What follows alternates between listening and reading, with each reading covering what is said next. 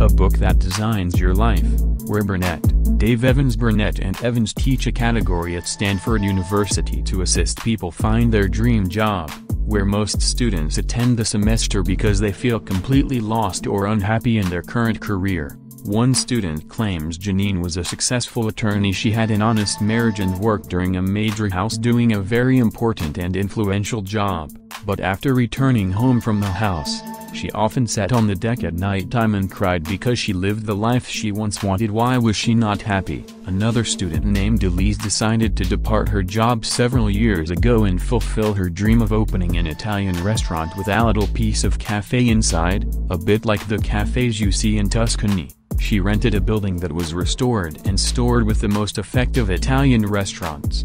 Food so opened to the general public. It had been a hit.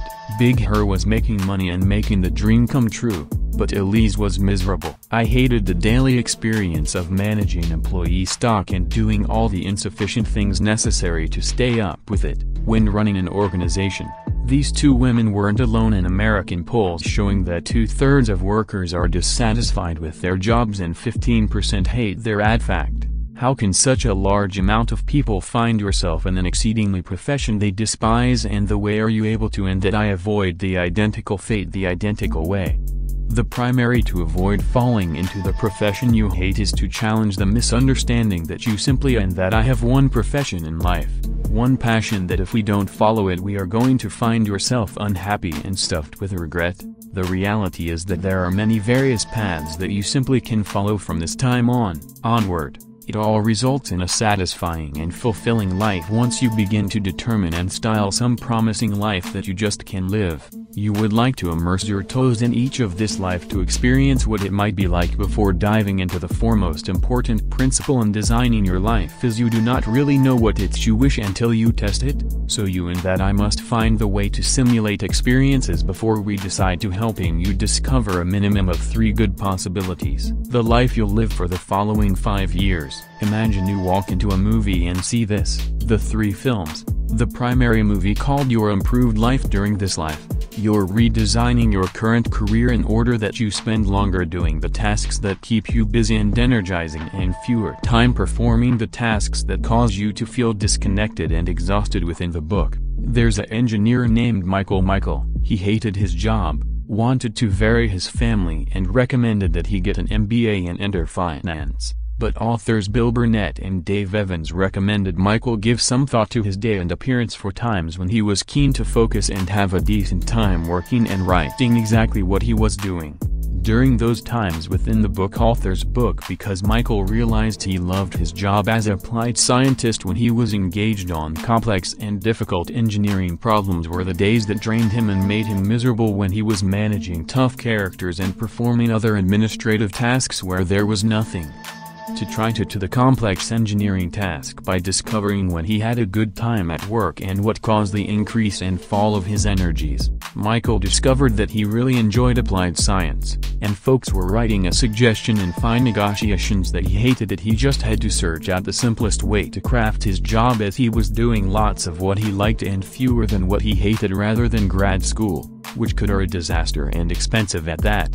Michael decided to double his engineering career, and ended up enrolling in an exceedingly PhD program and is now a high-level civil and construction engineer who spends most of his time alone, in working to unravel the sort of complex engineering problems that make him truly happy and become so technically valuable that nobody is required to try and do administrative things on good days. He comes home with more energy than he did when he left for at the morning and that is awfully great way of working. Like Michael, you would like to appreciate that there are times during your day even days you hate when you're motivated, focused, and have an excellent time to capture these moments. Start with what authors call a decent diary at the tip of every day for the subsequent three weeks. Write down the days during the day after you were completely right, immersed in what you were close to do and felt energized afterward. Be as specific as possible. Use AEA technique. What activities have you ever been in? What environment have you ever been in or haven't interacted with the items you reuse and what users will help get a particular person you worked for if you complete your good diary at the top of every day on over the subsequent three weeks.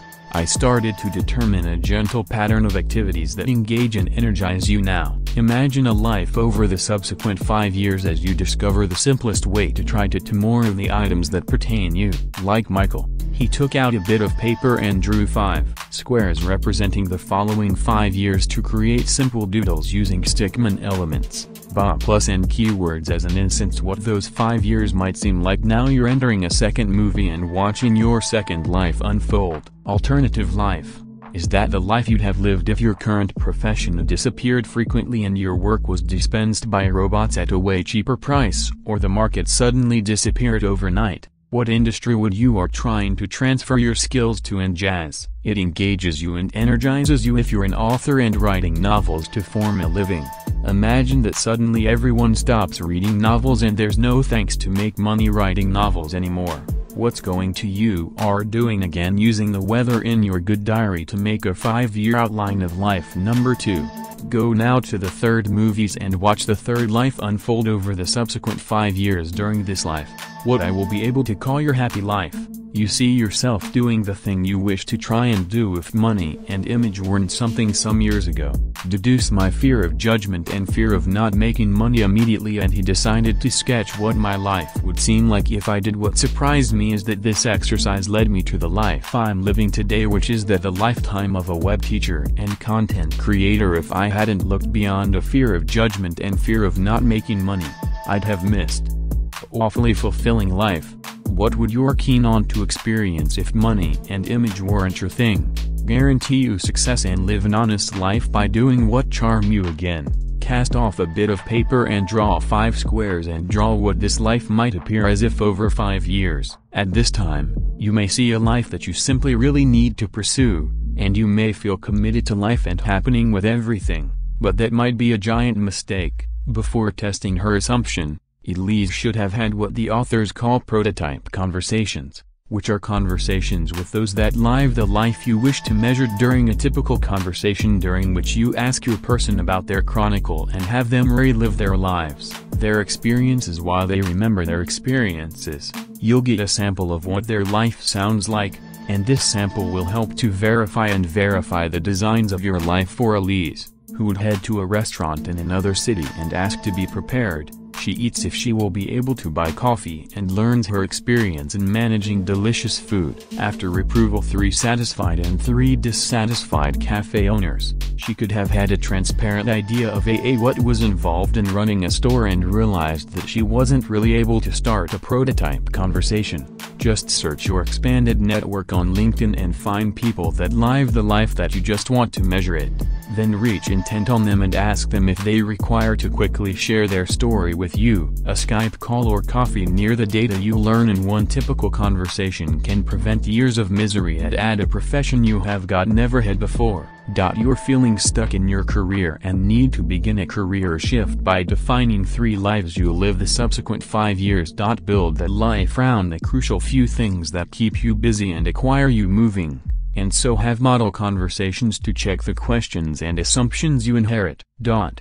In each of those lives, if you follow these steps, you have got a far better chance of identifying and pursuing a career you already love instead of a profession you're thinking that you may love but find yourself hating. The most message I gathered from Design Your Life books by Dave Evans and Bill Burnett, and this can be a guide.